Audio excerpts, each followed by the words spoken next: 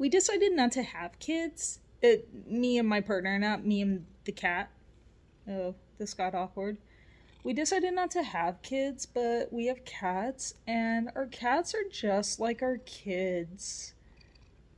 They eat by themselves. They clean themselves with their tongues. They purr. They poop in sand. Just like kids.